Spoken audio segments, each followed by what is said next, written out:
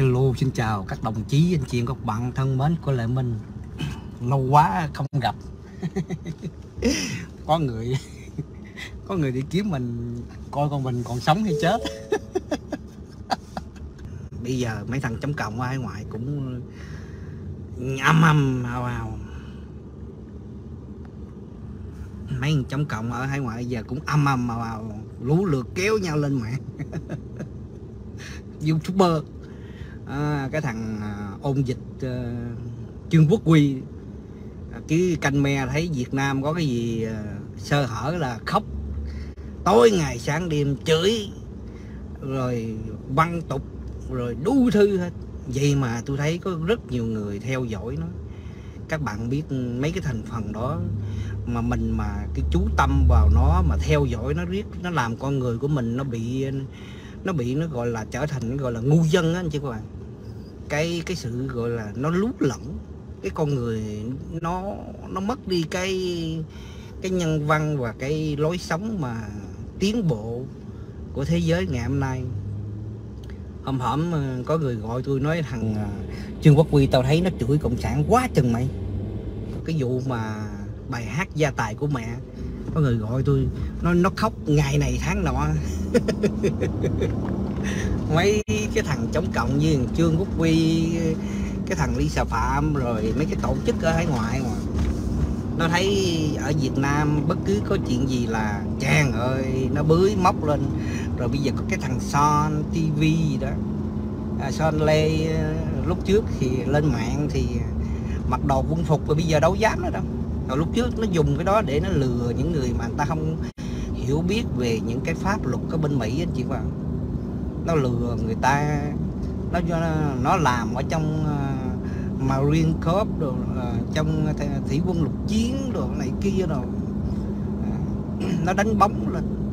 Bây giờ cũng toàn là lên mạng chửi cộng sản kiếm sống thôi. Toàn là cái lũ ô hợp các bạn thấy. Nhưng mà mấy cái thành phần này nó rồi nó cũng tàn lụi từ từ từ từ theo ngày tháng tôi chỉ tội nghiệp cho những người theo, theo dõi nó ngồi đó nghe giống như là tìm được một cái chân lý. Giống như là họ tìm được một cái lý tưởng gì đó mà mấy thằng đó trang đã coi mấy cái đám chống cộng hay ngoài. Có hồn nó ra hồn vía gì đâu. Các bạn thấy này, toàn là ăn tục nó phép từ từ cái cái uh, những cái youtuber mà có cả triệu view đồ cũng vậy mấy cái tuổi chống cộng này.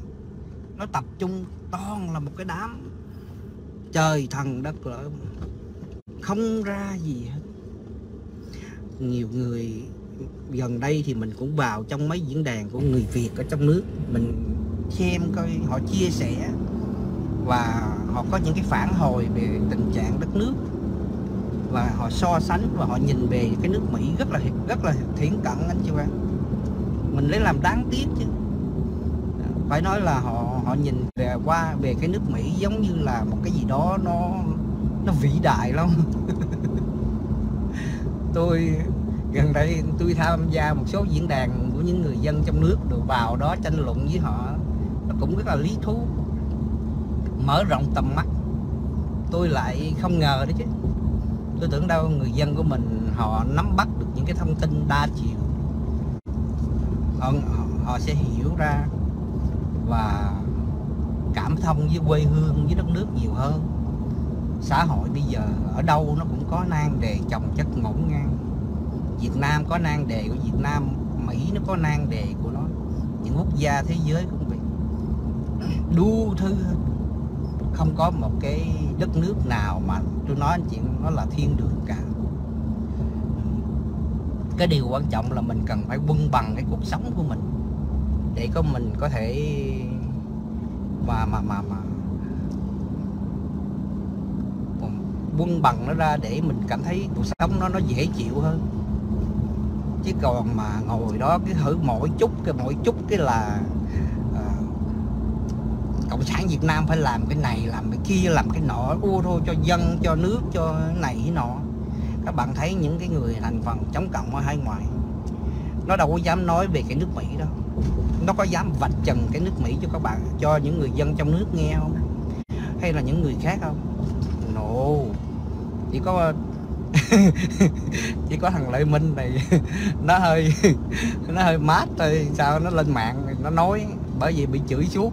Đã đau lại Minh, trục sức lại Minh. Sao không về Việt Nam ở mấy cái đá mà ở đấu trường à, đấu trường à, chấm cộng cũng vậy. Vô hồi không lợi là nó chặn mình hết trơn. Toàn là tàu lao mà giả nít rồi xài nít ảo rồi lấy giống như tiểu thơ rồi nhiều hằng thì làm giống như là trí thức ghê gớm lắm. Thì quay lại vấn đề mà những cái diễn đàn của người dân trong nước các bạn gần đây mình cũng theo dõi. Các bạn thấy cái vụ mà Ngô Minh Hiếu các bạn biết cái anh bạn này còn trẻ năm mười, mười mấy tuổi đó, là một hacker rất là nổi tiếng thì bị chính phủ Mỹ FBI nó bắt nó bắt nó kêu án 10 năm sau khi mà mà anh anh anh chàng này à, mãn hạn tù đó các bạn biết ở bên bên Mỹ mà một khi anh mà vướng vào lao lý coi như là anh đền có nghĩa là anh xong rồi đời anh coi như xong rồi. Anh không còn có cái cơ hội nào để anh tiến thân đâu. Ờ, ở ở cái, cái xã hội Mỹ này nó không phải giống như Việt Nam người ta phạm tội rồi về được ờ, được gọi là hoàng lương trở thành con người. Có ích cho xã hội Mỹ này.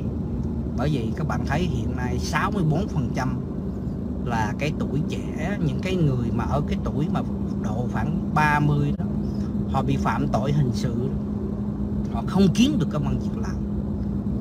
Có những người họ đang làm việc cho một cái cơ, công ty rất nhưng mà khi họ vướng vào những cái lao lý của nước Mỹ, các bạn biết họ bị đuổi việc, mất nhà, mất cửa gia đình, tan nát hết.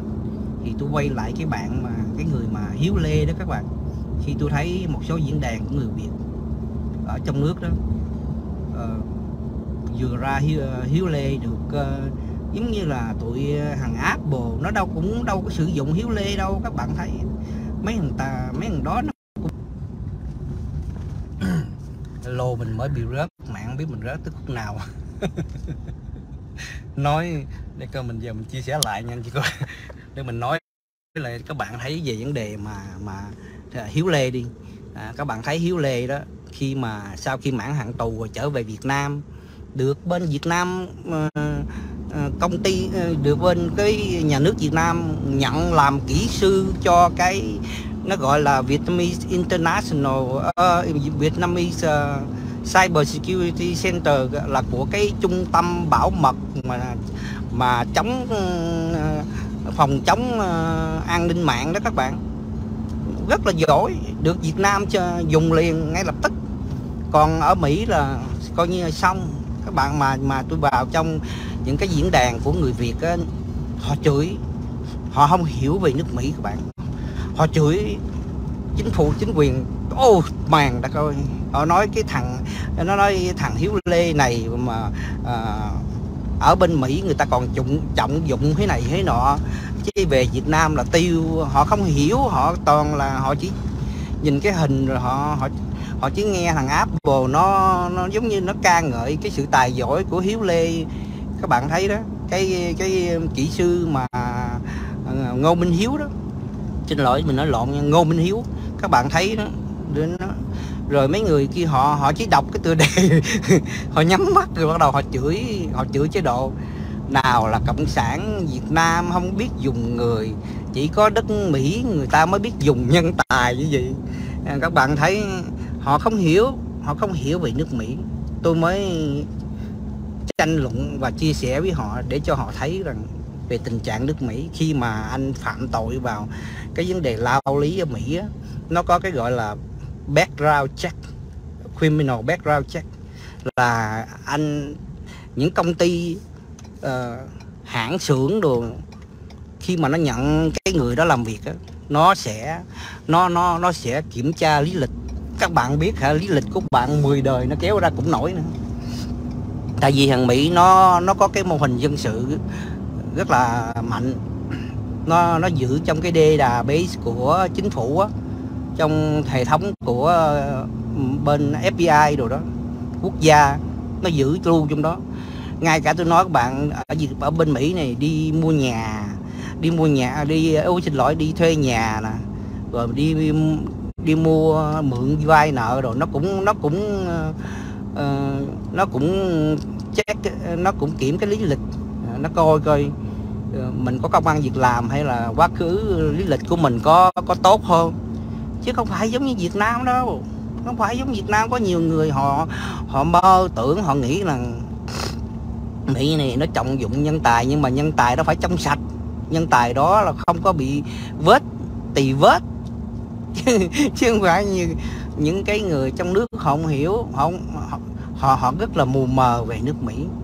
Họ, họ luôn nghĩ rằng Mỹ là một cái đất nước rất là dân chủ và bình đẳng. Nhân quyền tam quyền phân lập của Mỹ là cạnh tranh là để uh, uh, giống như là phát triển trí tuệ rồi. Nó, nó tùy à nói chung nó tùy à. Nó nó cũng tùy thôi. Khi mà đụng chuyện rồi nó cũng đi sát dáng luôn chứ không phải giỡn đâu. Nó bắt hết chanh rồi nó cũng bỏ bỏ vỏ. Hằng mỹ mà tôi làm cho công ty của nó tôi biết các bạn. Tôi nói thật á đa số những cái dân mà ở trên mạng hiện nay họ không có cái cái cái background về những cái kinh nghiệm mà làm về cho công ty của Mỹ. Họ không có hiểu đâu. Họ qua sau này người Việt của mình qua Mỹ toàn là đi làm gì? Uh, nhà hàng chợ neo rồi làm những cái công việc ừ, đơn giản ừ, mà nó không có đòi hỏi những cái chuyên môn á. Họ không có hiểu về những cái cách mà những công ty của Mỹ khi mà nó thuê nó làm việc như thế nào đâu tôi nói anh chị các bạn bây giờ mà những người Việt của mình mà qua kiếm được những cái công ty công việc làm mà ở gọi là công việc hành chánh ờ, ở ở những cái công ty lớn rồi tôi nói hơi bị khó hơi, hơi rất là khó. Chứ không phải là giỡn đâu. Xin vào đó nó nó điều tra lý lịch sau cái biến cố 911 thằng Mỹ nó nó siết cái lý lịch của những người mà dân Mỹ còn khủng khiếp hơn nữa chứ không phải là giỡn đâu. Có nhiều người không hiểu. Tôi cũng lấy làm hơi ngạc nhiên bỡ ngỡ chứ. Khi tham gia vào những cái diễn đàn của người Việt á, thì mình mới thấy được họ mơ hồ về nước Mỹ. Họ họ mơ hồ về chủ nghĩa tư bản. Họ họ rất là chủ quan.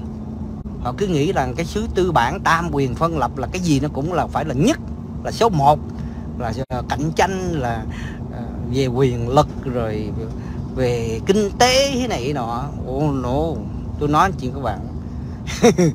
Nó không như mơ. Đó là lý do tại sao rất là nhiều người Việt Nam của mình, ngay cả những tay đại gia rồi các bạn thấy ở trong nước, giàu có, của ăn, của dư, của thừa để mà khi mà qua được Mỹ rồi hỏi ơi, cái đường đời.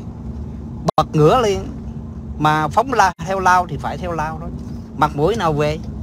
Tôi hỏi anh chị các bạn ra đi thì ờ, làm tiệc tùng rất là đình rình rang mà chờ, giờ trở về quê hương. Những cái mà cơ sở rồi vật chất của mình có bán hết, giờ mua lại sao nổi? Các bạn thấy mua sao nổi? Qua Mỹ này, đụng vô cái nhà cái nhà chỗ này, cái khu này đang, chỗ, khu nhà tôi nó đang cất giá là để 500 ngàn một căn. Các bạn nghĩ đi 500 ngàn một căn mày vô đó 500 ngàn một một căn nhà như vậy thì cũng khoảng 10 uh, à, mười mấy tỷ 11 hơn 11 tỷ. Đâu phải ít đâu. Mà chưa nói là vào xong rồi còn phải uh, thêm cái này thêm cái nọ nữa. Mới có được cái nhà để ở. Rồi còn phải đi làm và kiếm tiền. Tôi nói là nhà là những cái loại nhà nó chắc nó cất theo ờ, chắc. Chứ còn mà custom home ở khu trong này là giá khoảng bây giờ một triệu đô trở lên chứ đâu phải giỡn đâu tại nhà trong đây là gọi là acre home custom home. Những cái khu nhà trong này là nhà phải một mẫu cho lên rồi và nhà nó xây theo kiểu mà mà mà, mà custom á. Những cái kiểu mà cái người cái người chủ họ họ xây mỗi người một kiểu hết rồi. Không ai giống ai chứ còn mấy cái khu mà track home là vô đó nó xây nó có ba cái internet của mình nó chập chờn quá. Thôi thì ờ, mình like ờ, tới đây. Mình hẹn anh chị các bạn ờ, dịp khác. Tại vì cái nick lợi minh bên cái điện thoại kia nó bị uh, nick lợi lợi nguyện nó bị uh, báo cáo. Cho nên mình xài cái cái Facebook lợi Nguyễn lợi Minh Nguyễn này nó cũng nó sống nó phải dùng sống uh, uh, hot hotspot wifi của điện thoại kia nó chìm, cho nên cái cái mạng nó không có chuẩn.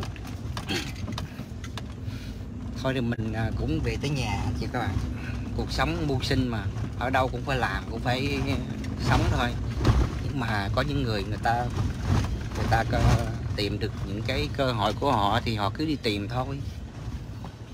Chỉ có vậy cuộc sống còn hiện nay, bây giờ thì thế giới phẳng rồi ở đâu mình sống được thì mình cứ sống thôi.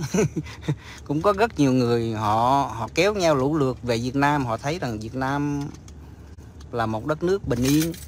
Tôi coi tin tức trên mạng tôi thấy cũng có những người Mỹ nó qua Việt Nam làm ăn nó khiêng cả gia đình vợ con nó qua Việt Nam, nó sống luôn. Ghê ngầu thiệt. Phải nói là rất là can đảm. Nó nhìn thấy cái mô hình xã hội Việt Nam có cái sự gọi là tiến bộ và đi lên. Còn có những, mà đại đa số, nói chung là người Việt của mình, họ bỏ nước ra đi rồi. Họ họ xem Việt Nam giống như cái đống rác vậy đó. những thành phần chống cộng cực đoan thì mèn đất ơi. Nó chống không từ cái thứ gì mà. Cái đám ô hợp đó. Nó chống Việt Nam coi như là, nó thấy cộng sản mà rớt chỗ là nó chống nó chống chống đầu chống chống cẳng chống đuôi chẳng đích nó chống thời buổi giờ. Thôi mình à, dừng lại đây anh chị các bạn nha. Xin chào anh chị các bạn. Bye bye bye bye bye bye bye bye.